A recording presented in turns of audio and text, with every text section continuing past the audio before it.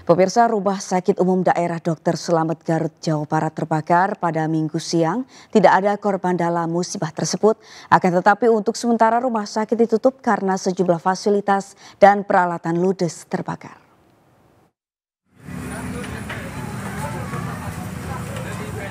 Video amatir merekam saat kebakaran terjadi di area RSUD Dr. Selamat Garut. Kebakaran di daerah rumah sakit milik pemerintah itu membuat panik pasien dan pengunjung yang ruangannya dekat dengan lokasi kebakaran.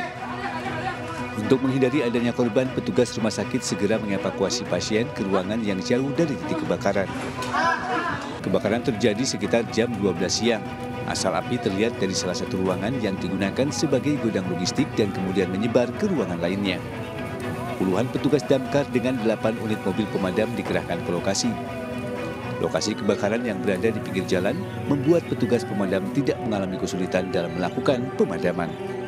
Saya katanya ke ruang logistik, saya juga belum tahu persis ruangan apa yang terbakar. Cuma kita semua armada kita kerahkan ke sini.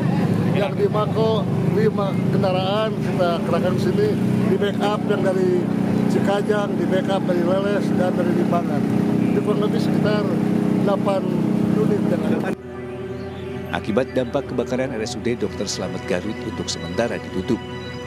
Pihak rumah sakit sedang melakukan perhitungan barang-barang yang terbakar dan secepatnya akan memulihkan pelayanan kepada masyarakat. Tidak ada korban dalam kejadian ini tetapi sejauh ini belum diketahui penyebab kebakaran. Dari Garut, Jawa Barat, Ini Solihin, iNews melaporkan.